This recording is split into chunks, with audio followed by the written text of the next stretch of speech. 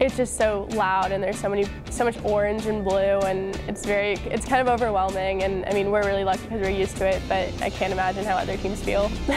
uh, the best part about playing in Mem Gym is definitely the history and the tradition behind everything that we do. Being so close to our fans, um, I think in like a lot of gyms, the fans are up a lot higher and farther away and in MEM you're playing right next to them and it's fun and it's exciting, there's a lot of energy.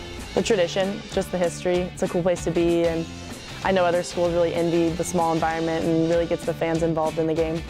All of our fans, they've either like they've been to the school and they know the school and the track that we have up here, it's the oldest track on the East Coast. It's just really cool to be able to play in a building that has so much history and just knowledge in it.